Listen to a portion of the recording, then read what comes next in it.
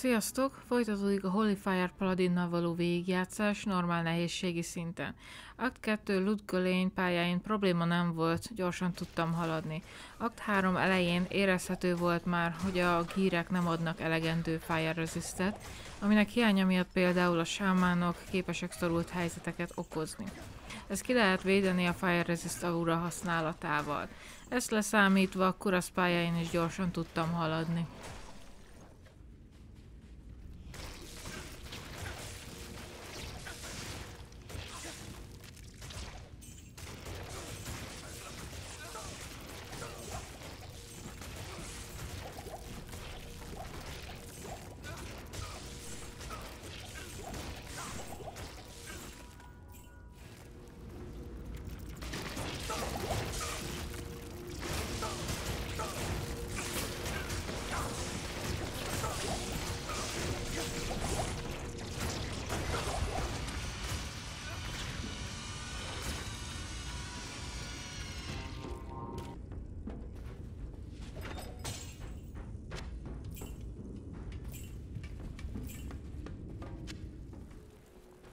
Staff of Kings!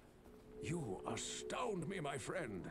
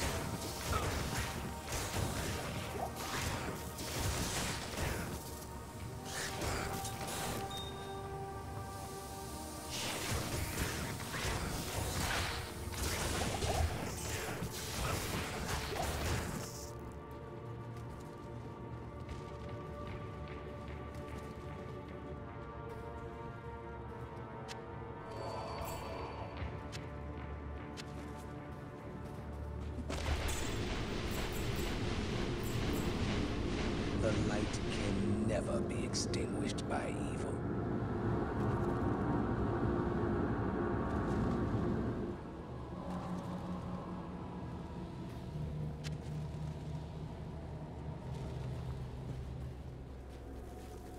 The Viper amulet you bear is actually the headpiece of a Horadric staff.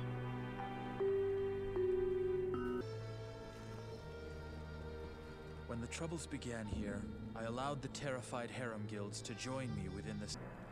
Good day.